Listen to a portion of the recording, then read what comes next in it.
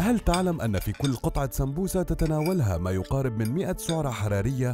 وأنك تتناول بمعدل تسع قطع من السمبوسة المقلية على مائدة الإفطار مما تساوي 900 سعرة حرارية أضف إلى ذلك 400 سعرة حرارية في وجبة الإفطار الرئيسية بالإضافة إلى 900 سعرة حرارية أخرى في وجبة العشاء و600 سعرة حرارية في وجبة السحور والآن أنت تتناول بمعدل 2800 سعرة حرارية يومياً السمبوسة المشوية تقلل هذا المعدل إلى 2125 سعرة حرارية السمبوسة المشوية تحتوي على 25 سعرة حرارية مقابل 100 سعرة حرارية في السمبوسة المقلية بالزيت. حضري السمبوسة المشوية بصانعة السمبوسة الكهربائية. ضعي المكونات المفضلة في عجينة السمبوسة ثم ضعيها في صانعة السمبوسة الكهربائية. شغليها على درجة الحرارة المناسبة ثم اتركيها لمدة ثمان دقائق فقط.